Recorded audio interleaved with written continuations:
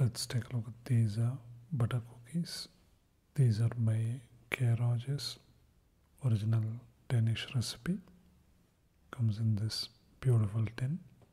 That's how the cookies look.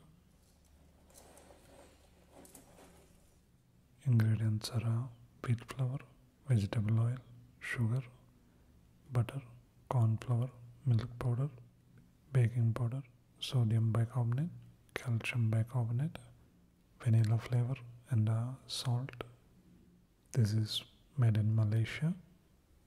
Costs around uh, 250 rupees or uh, three dollars or so.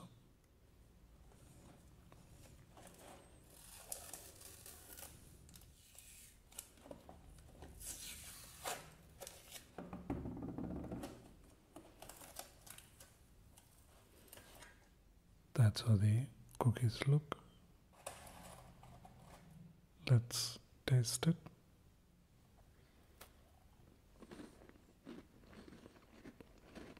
These are really buttery, nice and uh, crumbly, with a hint of saltiness. All of them are uh, similarly flavored, just different shapes. Quite nice. Check it out.